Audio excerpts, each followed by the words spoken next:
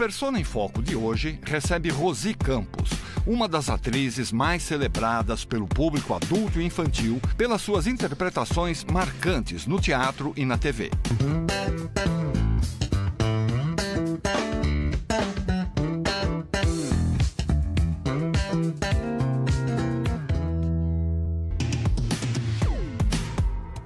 Para entrevistá-la, convidamos o ator e professor de teatro Eduardo Silva, que esteve com a Rosi em vários trabalhos. Em 89, o Grafite ganhou todos os prêmios de melhor musical do ano. E o meu grupo, que era o Zambelê, ganhou todos os prêmios de melhor é, de teatro infantil. E aí a gente foi escolhido os dois elencos para fazer a entrega de um prêmio municipal. O Castelo Ratimbum foi logo em seguida, foi em 94. E a gente fez uma apresentação em todos os, os, os céus e todos os Sescs, um, um programa de humor que foi a, a, a partir de uma peça que a Noemi Marinho dirigiu. A gente fez uh, uma, um projeto que chama De Pernas pro Ar, programa de rádio dos anos 50, todo mundo black tie cantando. A gente fez todos os céus, todos os Sescs que se lotava e já faz uns 10 anos isso. Estamos sempre acompanhando a Rosi de perto, fanzaço dela. Convidamos também a atriz, diretora e dramaturga Noemi Marinho. A Noemi acompanha a carreira da Rosi desde os tempos de universidade. Eu Rosi, nós somos, antes de tudo, contemporâneas, porque a gente, enquanto eu faço EAD, ela faz escola de, é, eu faço escola de arte dramática e ela faz a escola de comunicações e artes. Quando nós nos formamos na EAD, a gente sai para uma montagem no Ruth Escobar, e nós dividimos palco, porque a gente faz o espetáculo da gente e ela faz Noite dos Assassinos. É onde eu conheço a Rose Campos mesmo mais de perto. Depois a gente vai se acompanhando. E eu já fui colega dela como atriz no grupo Mambembe, uma temporada. Depois eu dirigi, eu escrevi e dirigi para o Circo Grafite com a Rosi, o Almanac Brasil. E recentemente eu fiz uma participação num filme que ela estava fazendo também. Mas a gente vai sempre se acompanhando, nós somos sobretudo contemporâneas, né?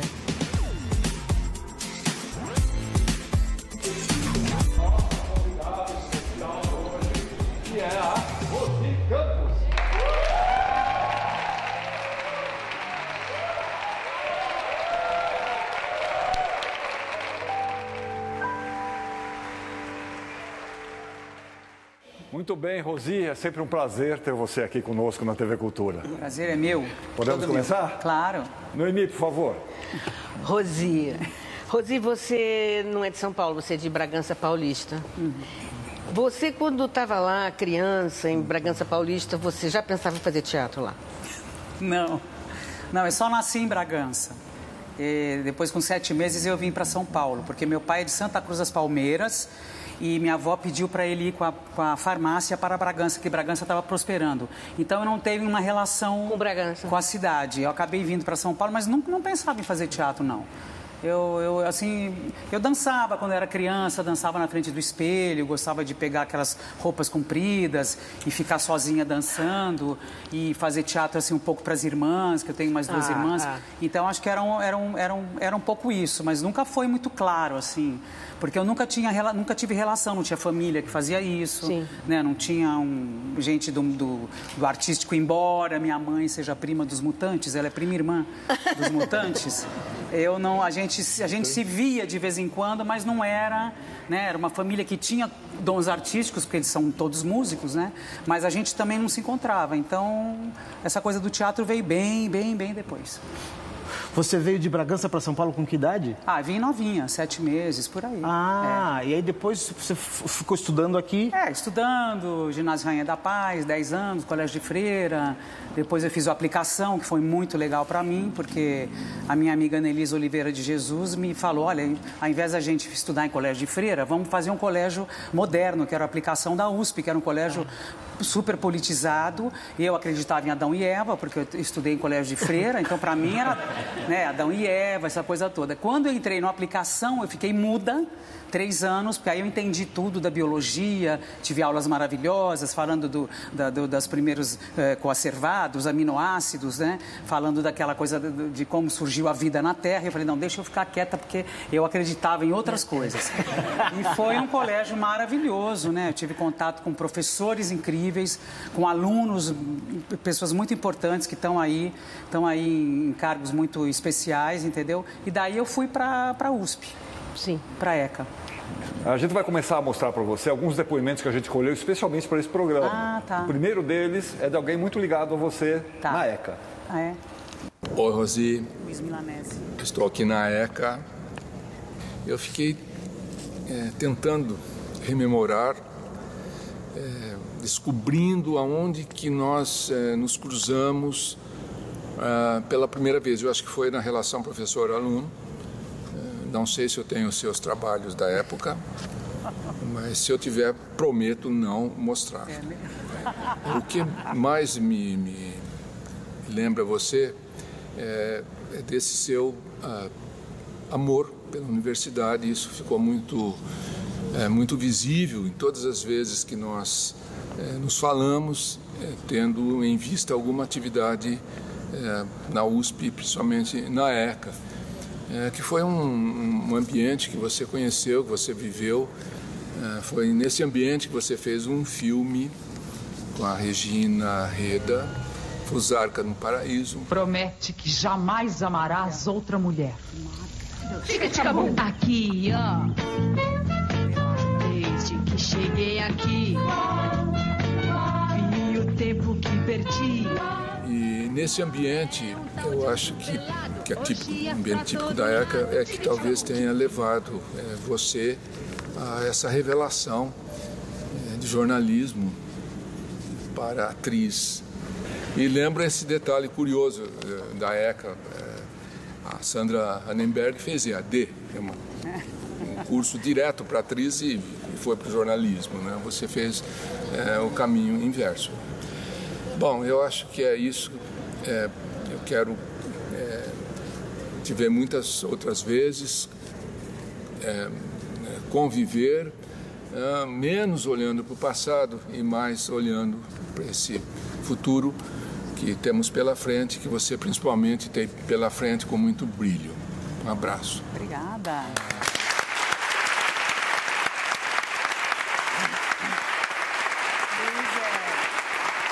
Luiz é nosso, professor de biblioteconomia, né? Porque na ECA tinha assim, introdução à biblioteconomia, introdução a não sei o que lá, introdução, é tudo introdução. E eu queria fazer um trabalho sobre surrealismo. Eu falei, ah, eu, eu achava bárbaro, Dali, achava tudo maluco, sabe coisa maluca, tudo esquisito, achava lindo. Aí eu falei, olha, eu quero fazer um trabalho sobre surrealismo. Ele falou assim, na pintura ou na literatura? Eu falei, pelo amor de Deus, eu nem sabia que tinha. Para mim era na pintura. Aí você está falando literatura, mas a gente desenvolveu uma. Uma, um- uma transa muito legal, porque depois ele virou eh, o diretor da ECA, ficou muito tempo como diretor da ECA, e ele sempre me chama para fazer uns prêmios, uma entrega de prêmio. Eu adoro o Luiz, é um cara super sério, super divertido, bacana. E a ECA realmente para mim foi uma experiência maravilhosa, porque quando a gente, quando a gente fazia lá, os- era tudo intercalado. Então você assistia aula de, do- de cinema do Paulo Emílio Salles Gomes, ia para aula de música do Bolonha, do Ville, eh, fazia o coral Comunicantos com o Celcinho Del Nero e o, e o e o maestro Marco Antônio. A gente tinha uma experiência muito linda. E depois na greve, em 75, teve a greve da ECA. Foi uma greve super importante que uniu todo o movimento estudantil. E inclusive a gente perdeu seis meses, né? foi. A gente perdeu seis meses para se formar. E até hoje eu sonho que eu estou devendo matéria na ECA. É um inferno. Eu acordo e falo, meu Deus, eu tenho, eu tenho um diploma, eu fiz, aquelas coisas malucas né, que a gente tem. Acordo horrorizada, mas foi uma época maravilhosa. Silvia Popovic, Mário Sérgio Conte, o Matina Suzuki, Caio Túlio, Valcir Carrasco. Então, uma turma muito legal que a gente acabou convivendo todo mundo lá. E fora o pessoal de teatro, né? É, que eu já comecei é. a assistir o Cacá Rossetti, fazendo as peças, e, e como aluno, né? O Cacá Rossetti como aluno. Via peças muito bonitas, encenações muito legais. Então era um mundo de coisas. Muito bacana de você ver tudo junto. É muito, uma experiência muito boa. E, e você, Rosi, você, fez jornalismo, chegou a se formar em jornalista. Você chegou a trabalhar em assessoria de imprensa. Eu lembro que você tinha uma, uma, uma empresa, vamos dizer, com a Bri, com a Brifioca, não É. era? E depois, você durante muito tempo, não sei, algum tempo Muitos você teve anos. né, essa assessoria. E depois você abandona o jornalismo. Como é que é que você. Não, eu fiz jornalismo, mas eu não escrevia nada, né? Então era péssima. Eu falei, eu tinha um sonho de, de, de trabalhar no Estadão, mas eu falei, como é que eu vou trabalhar no Estadão? Eu escrevo muito mal, não sei o quê. Eu fiz assessoria para Som Livre. Fiquei cinco anos na Som Livre. E era muito legal, porque eu, eu vi aqueles discos do. Era, a Som Livre tinha aquelas picadinhos de novela, mas tinha discos bem interessantes. Calbi Peixoto, Jorge Ben, a Rita Lee, quando lançou Baila Comigo, foi na Som Livre, foi um, um estrondo, entendeu? O, aquele do, do circo. Circo Místico. Então, a- de repente, a Som Livre tinha uns, uns projetos muito interessantes. Trabalhei lá. Depois, com a Brifioca, a gente fez milhares de peças. A gente teve uma Assessoria, né? Assessoria, ninguém pagava nada, pagava aquela micharia. Então, eu comprei uma vez uma, uma sacola de feira. Porque era tanto, tanto, como é que chama? Release. Release. né? Tinha que fazer release no mimeógrafo, aquela coisa louca. E em todas as redações, a gente ia no Estado, na Folha, no Diário Popular, baraná, baraná. Era, as redações eram maravilhosas, que você chegava na Folha, você tinha o Rui Castro, você tinha o Dirceu Soares, você ficava conversando com altos caras incríveis. redação, né? A A redação, redação tava era lá, é. deliciosa, você era recebido, né? Hoje em dia essas coisas de e-mail que ninguém se fala, eu acho um horror. Eu sou daquela época que a gente ia lá na redação e fazia divulgação das peças de teatro. Fiz o caso ONU, que foi maravilhoso. Quando veio pra cá, fizemos, eu e a Bri, fizemos, foi minha companheirona do, do- não só disso, mas do teatro, Do teatro, também, né? né? Outra atriz, né? Outra atriz maravilhosa, Bri Fioca, querida. Ô, Rosi, você participou do grupo de teatro do GTECA, na ECA? GTECA. O que, que era o GTECA? Era um grupo que a gente estudava assim, escondido, porque a gente estudava Trotsky, estudava tudo escondido, não podia, né? Era tudo proibido. Minha mãe queimava os livros que a gente tinha, né? Livro do Mao Tse Tung, do, é, toda, todas as mães queimavam os livros de, de todo mundo. E a gente estudava. E tinha um pessoal, esse pessoal me indicou para fazer uma peça, que era uma peça sobre censura, no- nesse, nesse grupo GTECA, mas era uma coisa que a gente apresentava assim na, na sala, tosca, uma coisa tosca.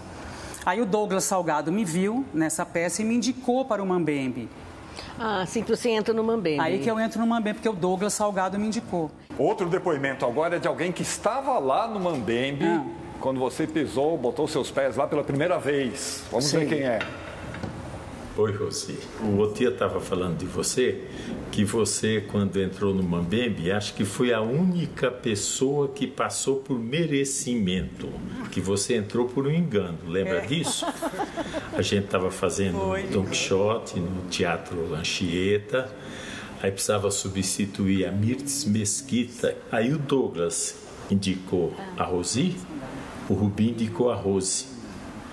Aí estamos lá ensaiando, né? Chega o Douglas com você, aquele mulherão grandão, né? O Tato Fischer já pegou o piano, você começou a cantar, o Sofredini dá passo, você dançar. Aí daqui a pouco chega o Rubinho e fala: que, que, que é isso aí? Essa daí não é a Rose, essa é a Rosi do Robson Camargo. A Rose é aquela lá. Nossa, e agora? Você fala com ela? Eu falei, eu não vou falar não, imagina, eu tenho vergonha. Aí o, chamamos o Tato, foi o Tato, você precisa falar para Rosi que não é ela, é outra. Aí o Tato falou, imagina, ela dança tão bem, ela é bonita, ela sapateia, ela canta, imagina. É mais, é mais fácil falar para outra. Aí explicamos para outra e você ficou no grupo. Lembra? Lembro. Acabou o projeto, nós resolvemos fazer um grupo e o Sesc nos deu essa produção do Don Quixote que a gente ia fazer no, no Anchieta. Aí depois você fez com a gente o Gil Vicente, farsa da Inês Pereira. O grupo deu uma desgringolada, lembra disso? E eu, você e a Carmo resolvemos fazer uma experiência.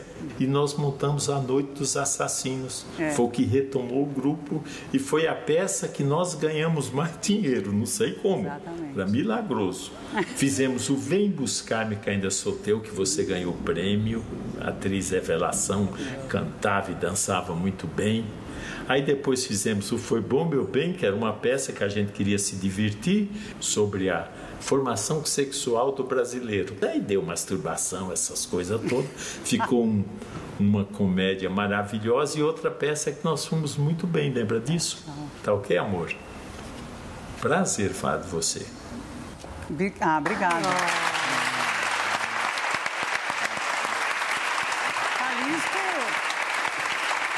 Calixto, Sofredini, Luiz Alberto de Abreu, eram os cabeças né, do, do, do Mambembe. O Calixto, quando foi fazer Bela Tchau, ele e Luiz Alberto de Abreu, que é autor maravilhoso, iam lá para São Bernardo fazer pesquisa. Isso. Quando a gente fez Foi Bom Meu Bem, a gente foi falar com os especialistas em sexo, que na época era Marta Suplicy, Gicovati, e a gente sempre partia de uma ideia, né, de uma pesquisa, não era, não era um texto pronto. Né? Existiam alguns textos que o Sofredini falava, vamos fazer Martins Pena, vamos fazer Gil Vicente, vamos para as escolas, para para, os supletivos, para as faculdades, mostrar o que a, o Brasil tem e o que, que os portugueses têm. Né? Então a gente fez montagens lindas, uhum. né? montagens maravilhosas que, que às vezes eram vistas só na faculdade. Com a Noite dos Assassinos, a gente chega no teatro mesmo, que as pessoas falam, ah, mas vocês vieram da onde? Eu falei, ah, a gente estava fazendo teatro por aí, que a gente é louco, idealista. E no Mambembe eu tive uma carreira maravilhosa, né? Noite dos Assassinos, a gente ganhou muitos prêmios e foi um atrás do outro. A gente foi tendo muita, muita sorte, né, de fazer bons espetáculos e num momento, num momento histórico, um momento complicado, né, a gente é uma geração que veio após os grandes, os grandes é, diretores, né, os grandes, eh, vamos dizer, a gente não, a gente veio daque, daquela geração de Flávio Império, dos grandes diretores, é, né? de grandes diretores, Começam os né, grupos agora. Dos, é, aí a gente veio na, na, na geração dos grupos. Né? Então eu fiz Mambembe, eu fiz Ornitorrinco, eu fiz Circo Grafite, Teatro Grafite, Arte Viva, é. né? Trabalhamos juntas. Então, Rosi, mas pegando um pouco hum. antes, você participou de alguns grupos estáveis, né? E não tinha incentivo como tem hoje, né? Fomento, nada. como é que era a sobrevivência dos grupos? Era... Já dava para sobreviver? Dava, dava. Era bilheteria. A gente é, vendia, é, vendia é. para os colégios, vendia... Os professores é, sempre foram muito importantes, porque eles acabavam levando os alunos e a gente fazia oito sessões. Tinha, tinha faculdade faculdade que a gente fazia oito sessões com o debate. Lá em São Bernardo, São Caetano, montava o, o, o palco, fazia, ia lá de manhãzinho cedo, né? Montava aquilo, fazia tudo no gogó, porque não tinha microfone, microfone nem nada, to, tudo com música, a gente sempre, né, sempre a gente cantando para 700, aquela loucura, né? Que hoje em dia é tudo com microfone, tudo é. chique, ele, naquela época não tinha nada disso. E era ótimo, a gente fazia, se divertia, era muito bom, muito bom. Muito bem, Rosi, nós temos o primeiro intervalo de hoje. A gente volta na sequência com o Persona em Foco.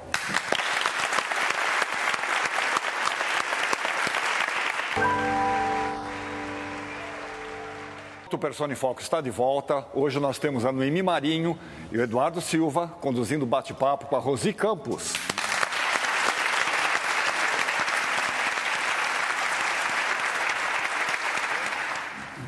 Rosi, um dos grupos que você participou foi o Nitorrinco. Uhum. E você participou da montagem histórica memorável, inenarrável, uhum. do Ubu, isso. com a sua inenarrável, memorável Mãe Ubu. Uhum. Que isso te levou muitos prêmios, é, foi super premiado. Como é que você entra no Nitorrinco e como é que você chega no Ubu? Esse é. pedacinho, como é que é? Eu, foi o Chiquinho Brandão que me indicou ah. pro, pro Cacá, né? Pro Chiquinho. E eu acabei indo lá e foi aquela, aquele processo, aquela uma loucura, né? Que o Bu realmente foi era uma piração, né? A gente saía do teatro assim, enlouquecido, demorava umas 5, 6 horas é. para a gente relaxar, porque ele acabou virando um, um, grande evento na cidade. A gente foi para o México, a gente foi para as Ilhas Canárias, e foi a primeira vez que eu trabalhei com o Kaká, e eu adorei trabalhar com o Kaká, porque o Kaká era um cara diferente do grupo Mambembe, que o Mambembe era um grupo muito afetivo, né? O Sofredini fazia jantar para a gente, a gente ia para casa do Sofredini, comia. O Kaká já tinha uma experiência assim mais de empresa, ele já tem uma visão, né?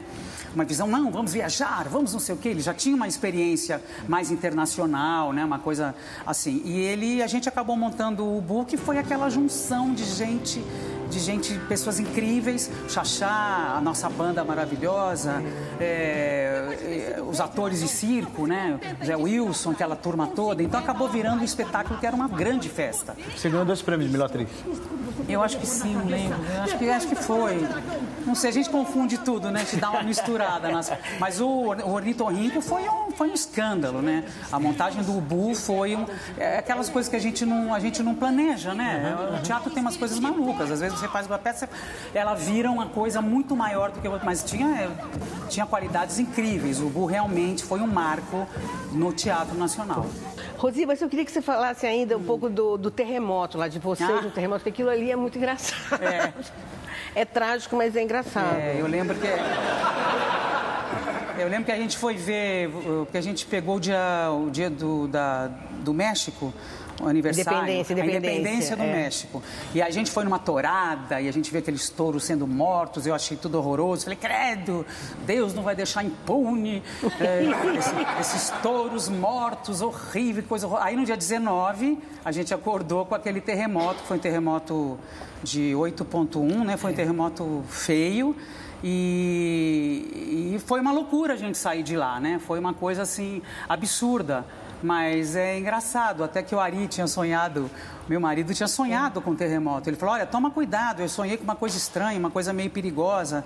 E aquilo foi uma loucura pra gente, né? A gente primeiro sobreviver ao, te- ao terremoto, porque a gente estava num, num, hotel que tinha 15 andares e e 12 andares deles caíram. Isso, a gente é. teve muita sorte. Foi. A gente não morreu porque, porque Deus não quis. E o, e o avião foi o último avião que deixou o México. Mas é uma aventura, né? A gente conta isso hoje dando risada, etc e tal. Mas quem viaja muito está sempre sujeito a acontecer É, essas coisas, né? Foi um grande sucesso lá no México também. Foi muito legal. Muito legal. Mas é Amei. divertido, eu acho divertido essa É. Quando dá tudo certo, a gente se diverte, a gente dá risada, né? Depois do, do, do Ubu, teve o Teledem. É. Que também deu muita confusão, Deu. que também deu muito escândalo, deu muito tiro, briga. É. Eu gosto dessa parte. É, ah, ela gosta das partes. É, o Teledão, quando a gente foi para Colômbia de novo, a gente ia com um cachorro, com segurança, porque a gente tinha sofrido uma ameaça lá. Não só o nosso espetáculo, como vários, porque, o, porque a gente O desceu. do- tema, tem que falar do tema, é, né? o tema do Teledão, que é, um- É. é uma reunião ecu- ecumênica, né? Então você tinha o padre, você tinha o, o bispo, você tinha várias religiões que se reuniam, eram vários representantes da igreja, e no fim era tudo uma mentira. Eles estavam só travestidos, né? Um de padre, outro de, de, de, de frei, não sei da onde, barará, barará, e no fim a gente se revelava. Só que a gente chegou na Colômbia e o Kaká teve essa ideia da gente descer do avião vestido, né? Eu de madre, Soror, Soror, assunto, sei lá como é que é o Não nome da lembro. Soror, eu, a Roseli Silva, o Ricardinho Blatt, né? É, o Rony Facchini. Ricardinho ficava- É, era um ficava elenco maravilhoso. E aí o Mário César Camargo, que fazia o Papa, ele decidiu descer do avião com uma garrafinha de uísque. Ah, aquilo para a Colômbia foi o fim. Nós ficamos assim, amea- fomos ameaçados. Né? Porque imagina, você vai botar um. Blasfêmia. um- uma blasfêmia, botar o cara tomando uma, uma birita, né? Um representante da igreja. E a partir daí a gente sofreu. A própria Fanny Mickey falou: Olha, vocês tomem cuidado, porque vocês estão sendo vigiados. E a gente ia com, com o pessoal dos, dos bombeiros para o teatro. A gente estava sendo ameaçado, mas só que a gente, como ator, não tá nem aí. Estava achando engraçado, divertido. Mas o Kaká não, o Kaká levou a sério, porque o negócio era sério. Sobre esse trabalho, Teledeum, olha só quem mandou uma mensagem para você. Rosi, na minha opinião, você é uma das maiores atrizes brasileiras. E eu falo isso não apenas como seu fã espectador, mas com conhecimento de causa, porque trabalhamos juntos muito tempo. Fizemos vários espetáculos e todos eles ficaram muito tempo em cartaz. Mas o que eu queria eh, comentar muito contigo também, dessas peripécias assim, vamos dizer, eh, perigosas foi quando nós fizemos o Teledeum no Festival de Bogotá. Você lembra muito bem o escândalo que ocorreu a partir dessa nossa chegada. O próprio arcebispo geral de Bogotá, nas suas homilias, conclamar, conclamou todos os fiéis a boi- boicotarem a peça. Começou um- uma loucura né, da, da mídia, das televisões, das rádios. eh, e, e, ao mesmo tempo, nós começamos a receber ameaças reais. A tal ponto, você lembra, eu tive que andar de, de colete à prova de bala. Num teatro de dois lugares, o teatro Jorge Eliezer Caetan, nós chegávamos no carro da polícia, se lembra? E, e- e tinha assim, um cordão de isolamento. Parecia que éramos assim, os Rolling Stones, porque já tinha uma fila ali de duas mil pessoas urrando e não sei o quê. E outros querendo nos matar também, né? Não, não, só, não só gente abupando. E na estreia do espetáculo, na estreia do espetáculo, o teatro foi invadido por radicais religiosos que foram expulsos pelo, pelo, pelo público. E depois, você lembra também que nós iríamos fazer uma temporada pós-festival no Teatro Nacional e colocaram uma bomba nesse teatro. Esse teatro destruíram a fachada inteira, tanto que a, a, essa temporadinha que nós faríamos de, de, duas semanas após as apresentações é, foram, foram canceladas. Eu quero trabalhar de novo com você, então fica publicamente já o meu convite para novamente aprontarmos muitas aventuras e estripulias teatrais aqui no Brasil e ao redor do mundo. Eu não estou acostumada a falar em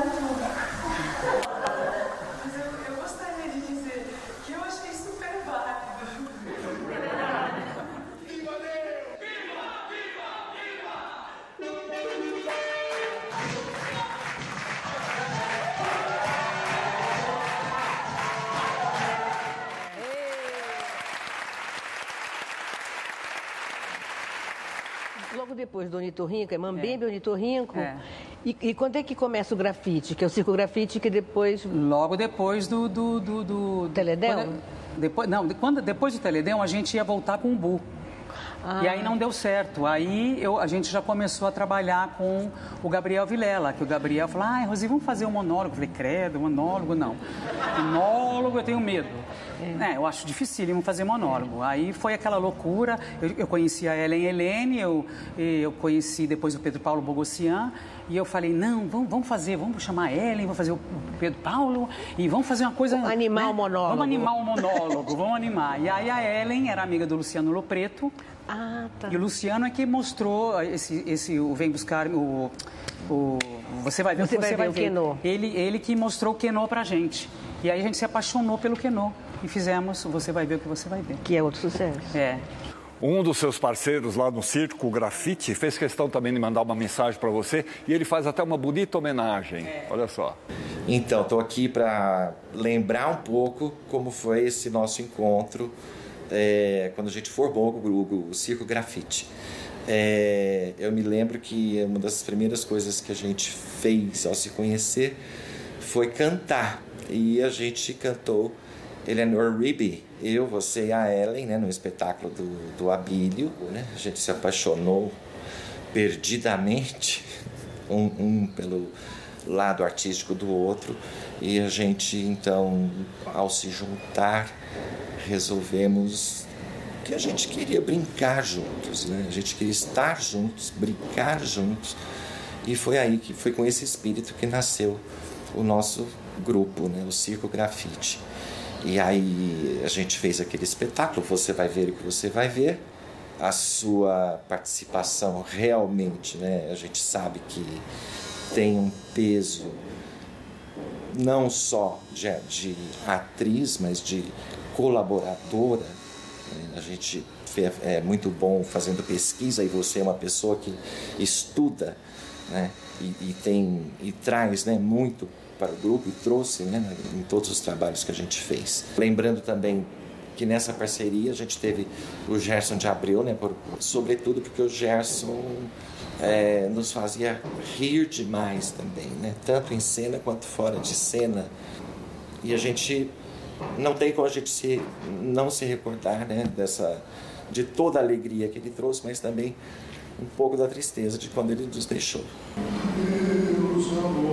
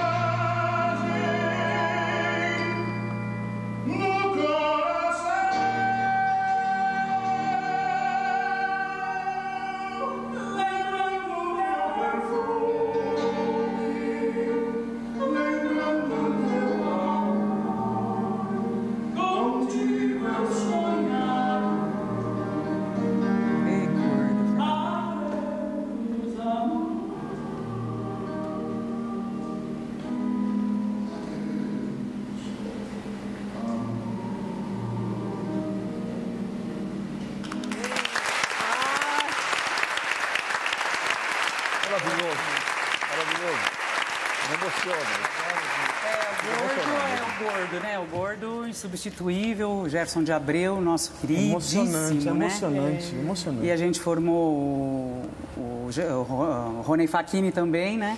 Também faz parte, fez parte do nosso grupo no, no Almanac, é o Almanac Hum. Brasil. Acabamos fazendo em Figônia também, a nossa versão de Figônia, que era maravilhoso, toda em palavrões rimados. Ele era o meu pai. que eu casava com você. Ele casava comigo, maravilhoso. Casamento. É, espiroquito dos culhões de granito, né? Maravilha. Eu fazia um japonês. Japonês. rapaz. Engraçado. Mas para mim foi muito importante o encontro do, do Pedro Paulo com a Ellen, porque a gente realmente é um grupo seria mais seria o meu grupo assim o grupo que eu mais me, me, me encontrei com pessoas com simplicidade a gente sempre ri muito sempre se diverte eu acho que o importante da, da gente fazer teatro é isso né Ok, Rosi, vamos dar uma paradinha para mais um intervalo. Voltamos na sequência com o Persona em Foco de hoje.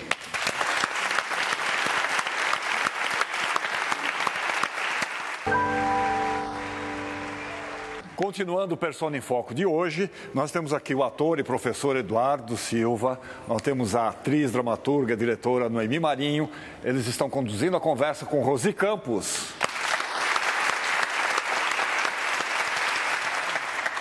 Rosi, vamos falar um pouco de televisão agora. Né? Aqui na casa, aqui na Cultura, você participou do telecurso segundo grau, do Ratimbum e do Castelo Ratimbum, que nós trabalhamos Exato. juntos. Né? Como é que foi fazer a impagável bruxa Morgana, filósofa Morgana? Como é que foi na tua carreira? Ah, foi. Nossa, é uma loucura, Morgana, né? Eu lembro que quando eu vim, o, o Cal falou: Não, você fa- faz uma coisa simples, eu não quero uma coisa im- impostada, né? Porque a gente ia fazer a bruxa impostada. Eu falei: Não, faz você mesma, faz você. E a gente fez vários testes, né? Teste de cabelo, teste de não sei o que lá. Tava duas horas, né? É, é, demorava bastante. Mas a Morgana realmente é, é é o meu grande papel, né? Eu, eu falo, para mim, na minha vida, a Morgana foi, foi uma loucura, é um presente, assim, que eu, que eu recebi. É, Hoje, todo dia, alguém fala da Morgana, alguém vem me dizer, perguntar uma coisa, e é um projeto deslumbrante, né? O Castelo Ratimbum reunia um, um- um elenco de primeira grandeza. Uma das pessoas desse elenco também gravou uma mensagem para você. Oi, Rosi! Cá estamos nós aqui no Persona. Que prazer enorme estar aqui contribuindo para falar sobre sua carreira, sobre o seu trabalho, sobre você, que é uma grande amiga, uma grande companheira de luta. A gente esteve junto aí no Ratimbum. Acho que foi uma experiência que todos nós usufruímos de uma maneira muito especial aí na nossa TV Cultura. E no caso específico é, de você como atriz, certamente foi uma belíssima criação. Ai,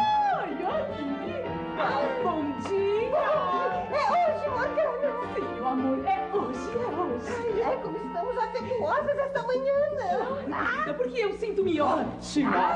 Eu sinto-me jovial. Sinto-me como se tivesse apenas 600 aninhos. Mas eu já vi tantos trabalhos seus no teatro. Eu considero você uma das atrizes mais talentosas que nós temos no Brasil, com uma versatilidade, extraordinária e uma pessoa muito querida, muito amada por todos nós. E então o meu, a minha mensagem aqui, Rosi, é, é- é- é deixar para você a minha, o meu preito de admiração, é, a minha a minha felicidade de ter podido conviver com você no- do- durante o processo do Ratimbum e continuarmos convivendo, né, como há tantos anos com essa com a repercussão do nosso trabalho, mas um prazer enorme de te ver sempre em cena, a sua presença luminosa na televisão.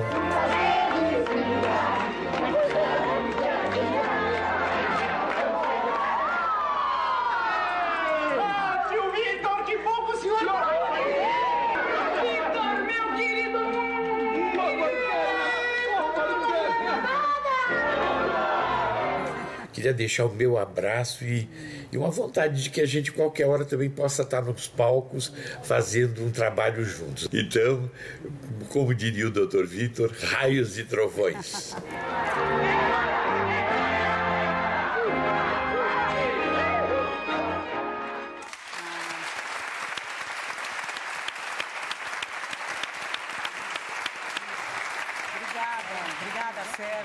maravilhosa, um grande ator, uma experiência de vida incrível. E realmente Castelo foi pra gente, né, querido? Foi uma experiência fundamental na nossa vida, né? E o Sérgio, é esse grande ator que, a gente moramos perto, inclusive, É, morava na Rua dos Ingleses, a gente era vizinho, então a gente estava sempre junto lá, ele com, com os filhos, com os netos e a gente crescendo junto e sempre no Ruth Escobar, né, o que acabou virando o nosso ponto de encontro. E o Sérgio, grandíssimo ator, amigo, uma pessoa super importante na cultura brasileira. Um beijão para você, Sérgio. É um prazer ouvir suas palavras. Nos anos 70 e 80 você já tinha feito algumas novelas na Globo. É, Cavalo de Aço, Casarão, Chegar Mais, mas você costuma dizer que nos anos 90 foi o Wolf que te levou para lá. Foi o Wolf. E é isso mesmo? Não, foi, foi o Wolf. Cara e Coroa, foi o Wolf que me le- levou. Foi, eu, fi- eu tinha feito aqui em São Paulo com o Sofredini, né? Eu tinha feito na, no SBT, Brasileiras e Brasileiros. E aí o Wolf me chamou, o Wolf Maia me chamou para fazer a minha primeira novela, Cara e Coroa, que tinha um elenco maravilhoso, tinha o Tony Tornado, tinha a Torlone. Torlone me ensinou muito, a Torlone... Eu falei, ai, Torlone, eu não fiz direito. Eu falei, calma, televisão é assim. Você faz uma cena mais ou menos, na outra você capricha. Então a gente acaba tendo muito apoio dos atores. Wolf Maia. Wolf. Ele também mandou uma mensagem para você e beleza. lembra até de uma das personagens mais marcantes da sua carreira na televisão. Que beleza. Rosi Campos, que homenagem bonita que esse programa está fazendo para você, né? Eu adoro Persona em Foco, eu adoro esse programa. Rosi, nós temos uma história linda. A gente começou na Ilda Furacão. Rosi sempre foi uma grande atriz em São Paulo, mas a televisão conhecia, aliás, não conhecia a Rosi, o Brasil conhecia pouco. E eu fazia Ilda Furacão e tinha Maria Tomba Homem, uma personagem que só ela podia fazer. Eu trouxe a Rosi, trouxe também o Matheus Nartinguele fazer o Cintura Fina. Eram os dois amigos excepcionais, outsiders da, da Ilda Furacão. E a Rosi arrasou. Paraíba masculina, mulher macho, sim senhor. Não canta isso aí não, que eu tô com a lua virada, hein? Paraíba masculina, mulher macho, sim senhor. Tô falando pra você não cantar isso não, que eu não tô legal. Na mulher macho. Eu tô falando pra mulher você macho. não cantar, eu tô. Na mulher eu não tô macho. bom hoje, vai cintura, é? Essa mulher vai Vem, gatinha, vem aqui. Você fazer bonito aí. Sai, Gabriel, sai você, chega aqui.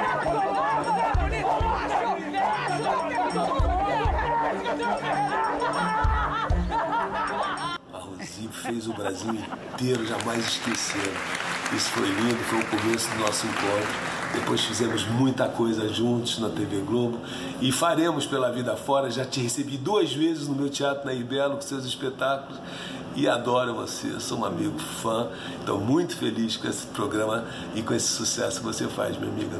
Um beijo grande. É, o Wolf. Foram trabalhos muito legais. O Wolf foi que me chamou, né? E a Cara e Coroa foi super divertida. Depois Ilda Furacão, que foi um grande É, sucesso. sucesso. Era muito linda com a, com a Ana Paula Rose. Foi uma experiência linda que a gente teve. Gravamos 40 dias noturnas, 40 noturnas. A gente trocou o dia pela noite. Mas foi um trabalho deslumbrante, fez um grande sucesso na televisão.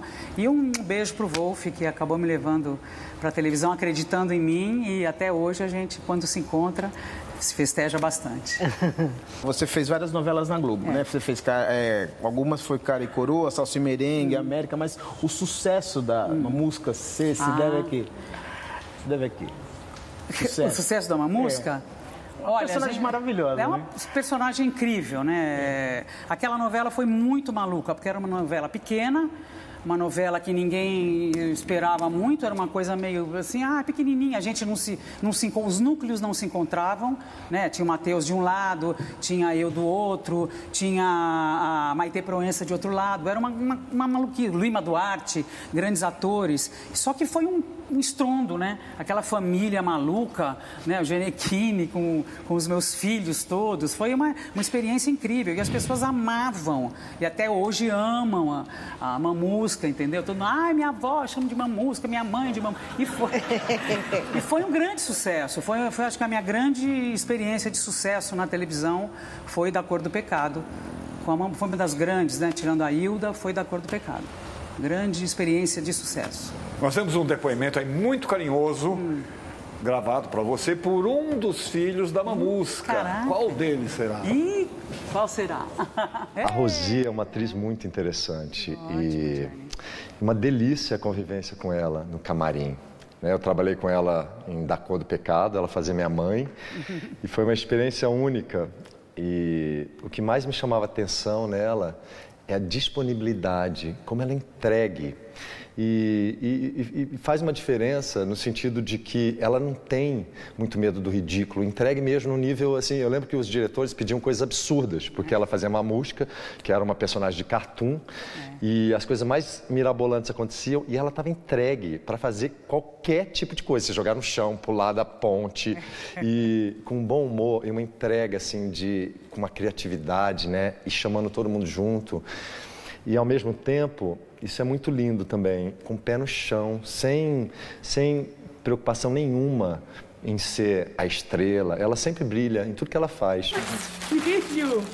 Filho, você tá achando que é meu aniversário? Não, ainda falta muito. Eu sei que não é seu aniversário, minha música. Mas é que me deu vontade de comprar essas flores para senhora. Mas por quê? Porque eu achei as flores lindas. Porque você merece. Desculpa, é que, eu, é que eu não tô acostumada com tanta gentileza. Ela contagia todo mundo porque ela, ela tem uma coisa de ser agregadora no set. Ela é uma atriz de, de tantos recursos. Eu vejo ela fazendo o humor tão bem, vejo ela fazendo o drama, né? Ela vai tão rapidamente, circula entre esses dois lugares. Rosi, eu te amo, eu adoro você e quero prestar aqui minha homenagem. Tudo que a gente falar é pouco para você. Você é uma das grandes nossas atrizes do Brasil. Beijo. São lindas. São lindas.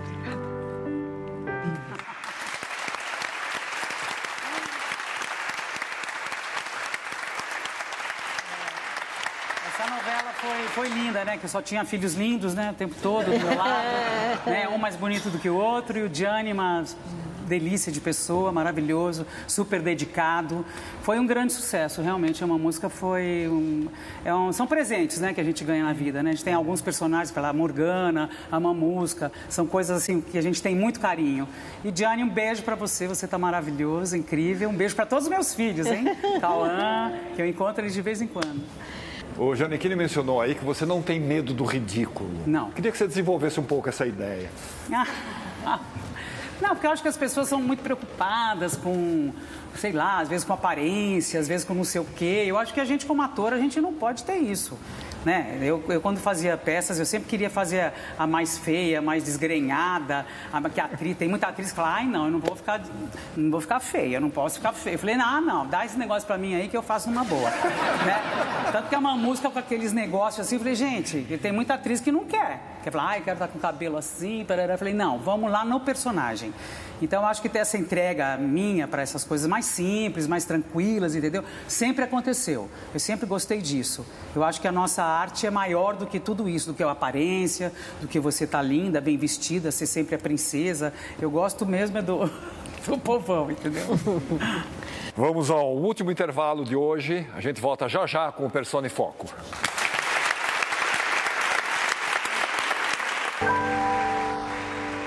Ok, o último bloco do Persona em Foco, a Noemi Marinho e o Eduardo Silva ainda tem várias perguntinhas para fazer para Rosi Campos.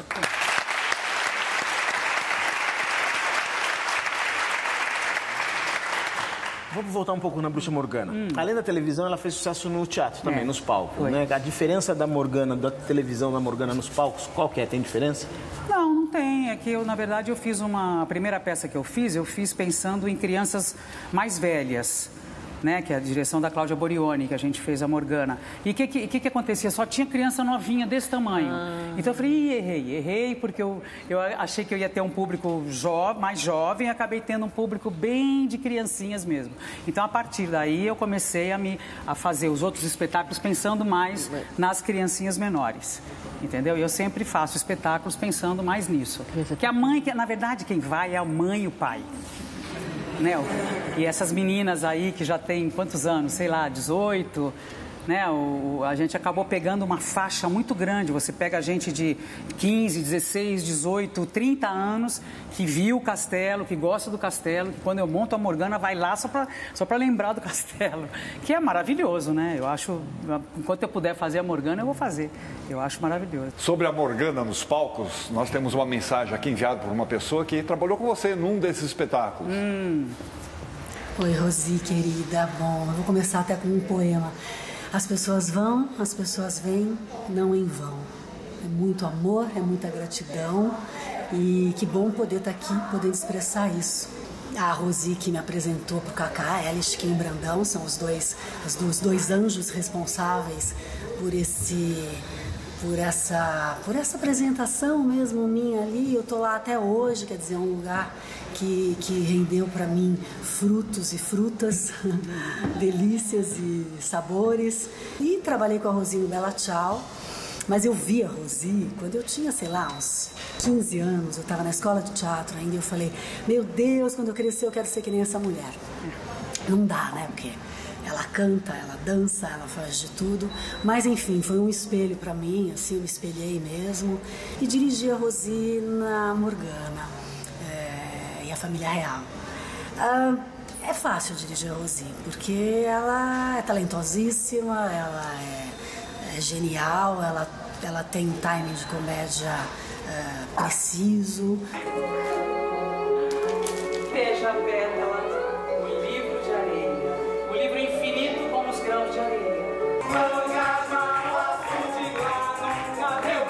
Foi uma delícia, foi um trabalho lindo, foi um trabalho que eu tive a maior felicidade de fazer.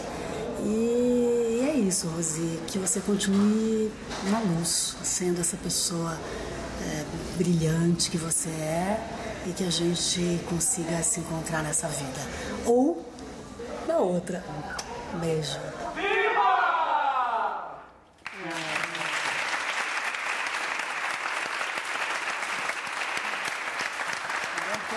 Vi a Cris no espetáculo, que ela ficava nua, né? Linda, né? Aquele corpo, aquela coisa. Aí eu falei, Cacau, tem uma mulher linda aí, você tem que trazer pro, pro, pro Bu, né? Porque o Bu tinha essa coisa das. Cacá queria botar aquelas mulheres, não sei o que. Ela falou, não, tem que ser a Cristiane. A Cristiane é linda, boa atriz, super boa pessoa, tranquila, maneira, você não vai ter problema nenhum.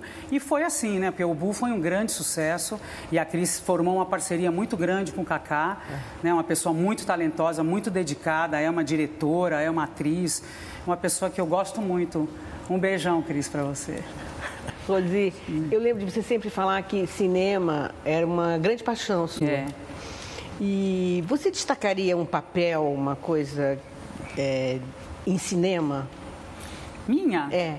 Não, eu acho que eu nunca fiz nunca fiz assim coisas incríveis. Eu fiz o Chico Xavier que eu gostei muito de fazer e trabalhei também do lado do, do nosso querido, que fez o Nelson Xavier, é. que era uma pessoa incrível, adorava o Nelson. O personagem era tão né? Lindo, uma né? discreto assim discreta, mas acompanhando o Chico. Foi muito lindo. Aconteceram coisas incríveis nesse filme. Foi muito bonito. Foi um filme que deu muito prazer de fazer. O Emmanuel disse que eu só vou desencarnar no dia que o povo do Brasil inteiro estiver feliz. Ah, então é nunca, né? É um filme lindo, né? Um filme muito bonito. E ele está magistral. Ele realmente se encontrou esse filme. Foi, foi tudo tudo meio abençoado. Em outro plano. Em outro plano. É. ultimamente na televisão você fez Babilônia e Eita. Mundo Bom. Hum. Qual é a diferença da televisão de hoje para a televisão de antigamente, quando você, tava, quando você começou a fazer televisão? Eu acho que antigamente a televisão, o ator, o ator era, mais liberto. Eu sinto, eu vejo as, as, as novelas antigas, eu falo, nossa, que, que, vibração, como o cara tá solto, como o cara tá divertido. Eu acho que tinha uma coisa mais solta, sabe? Eu acho que hoje em dia tem, a gente tem um certo um padrão, não pode fazer isso, não tem que tomar cuidado com aquilo. De repente, algum ator dá uma, uma faz uma loucura e, e, e, se, e se mostra de uma maneira mais irreverente, mais maluca, que eu acho muito interessante entendeu? Mas eu acho que às vezes a, tele... e a televisão tem um outro, né? Você acaba atingindo pessoas de uma maneira completamente diferente do que no teatro. Eita mundo bom! Ah, foi ótimo. Quem será que mandou uma mensagem para você e... pela internet? Hein? E quem será? Oi, Rosi, queria te dar um beijo enorme. Você foi um dos maiores presentes que um diretor pode receber porque você está sempre pronta, disposta, você se joga até nas coisas mais absurdas, marcas não reais, você consegue com a tua garra, com a tua sinceridade, com o teu olho no olho, passar uma verdade incrível. Farda, você não teve sorte, não nasceu com a minha beleza. Você nem casou, tia? É, eu não casei porque não quis, mas teve esperança no professor Pancrácio. Agora você tá ficando velha, não tem marido. É verdade. Santo Antônio, milagreiro das moças que quer casar. Eu, eu rezo pra ele, eu assino em tabela. Ah, é pouco, é pouco. Tem que botar ele de castigo, assim, de cabeça pra baixo, dentro do poço. Só vai tirar ele de lá depois que arranjar um pretendente por si. Nós fizemos um trabalho lindo, Rosi, e quero voltar a trabalhar o mais rápido contigo. Um grande beijo. Te amo.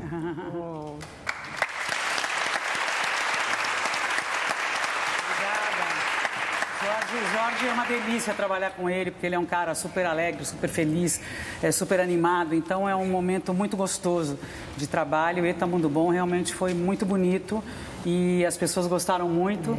E o Jorge é muito talentoso. Um abraço para você, Jorge. Adorei, adoro sempre que eu posso trabalhar com você. Um beijo. Rosi, é, você está trabalhando agora com seu filho, com o Pedro, né?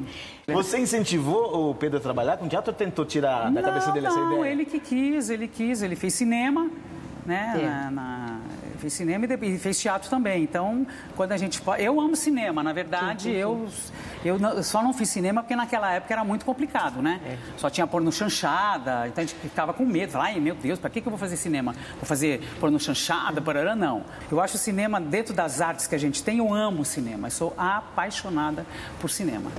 Quem sabe sempre faz que um filme com o Pedro, uma hora é, dessa, uma hora né? eu faço um filme com ele, pronto. O último depoimento que nós temos é de uma pessoa que conviveu com você em palcos, camarins, cantando, dançando, se divertindo ao seu lado. Vamos ver quem é. Opa. Oi, Rosi. Vem, Xunga. Você lembra quando você falava pra mim, a gente ia começar a ensaiar e eles diziam assim pra gente: vai lá fazer uma cena, improvisem em cima desse texto. E você olhava pra mim e falava: vem, Xunga.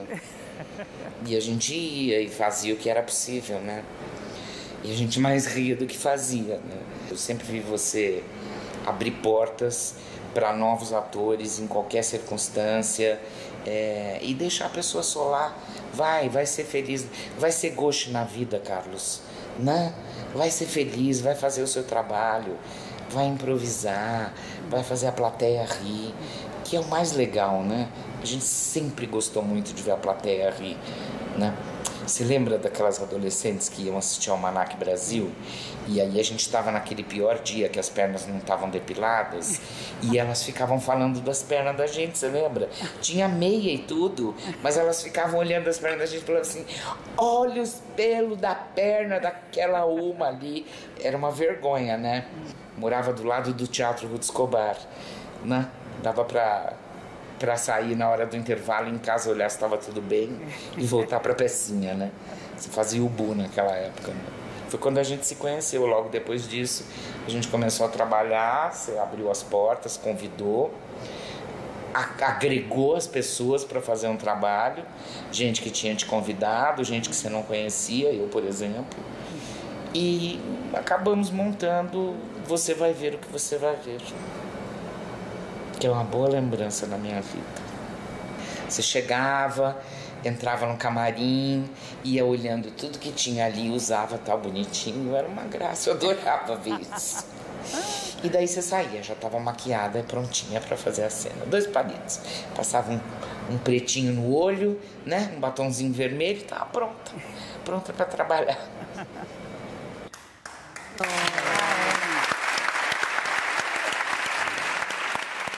A Ellen uma pessoa, uma grande atriz. Adoro a Ellen, uma pessoa inteligentíssima, sabe falar um francês maravilhoso, morou na França e vinha sempre com ideias incríveis. E acabamos montando o Você Vai Ver, que foi um prazer, foi uma coisa de, de prazer que a gente teve de fazer. Você vai ver que você vai ver. Tivemos aulas e não sei o quê, e a Ellen sempre vinha com muitas experiências novas, porque tinha morado na França. Uma grande atriz, a Ellen Helene. É, eu acho que ela é muito talentosa. Eu tenho muito prazer e muita gratidão em ter conhecido a Ellen e trabalhado com ela todos esses anos, que eu espero que a gente continue, porque eu te amo, te adoro e você é maravilhosa. Há muitos anos atrás, eu era aluno da escola de teatro do Rubens Brito, que Oh. fazia parte do grupo de teatro Man Baby. Sei. Ele um dia levou você lá, você fez uma palestra para nós Ah, é? sobre o que é ser, ser ator, o que é o teatro. Ah, é? Trinta e tantos anos Nossa depois, Senhora. nós temos aqui um- pessoas que vão seguir a carreira artística, Hum. estão estudando para isso e tal. Que breve mensagem você deixaria para eles? Olha, leiam muito, tenham interesse por coisas, por grandes autores ou pequenos autores, é, estejam disponíveis. Eu acho que o ator tem essa necessidade de estar disponível. Né? Porque é muito difícil no Brasil a gente ficar fazendo frescurite. Não, não existe frescura, a gente tem que botar a mão na massa e tem que trabalhar.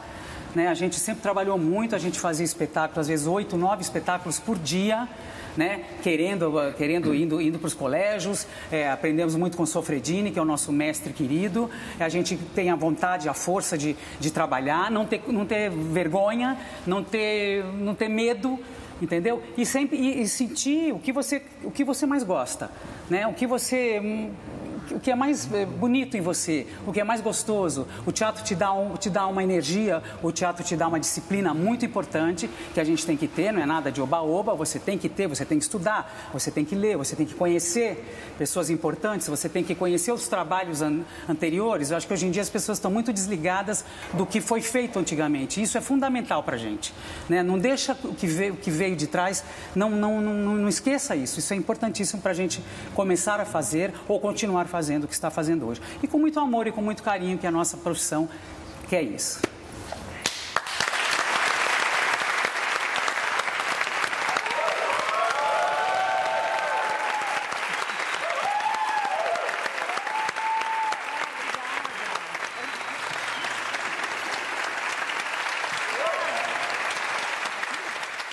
Pessoas falam, ah, a televisão é igual. Não é, não é nada igual. Né? A televisão, ela, ela capta o pensamento da pessoa, como diria Glorinha Boytemiller. Né? Então, quando você fizer, faça com verdade. Que é muito difícil de você conseguir isso na televisão. Né? Até você se acostumar com, com, o equipamento, com para onde você tem que olhar, etc. e tal. Na verdade, são os atores é que acabam te dando muita, muita a, a Eva Todor falava, conversava muito com ela, o Ari Fontoura. Você vai se escorando nas pessoas que já têm a experiência da, da televisão.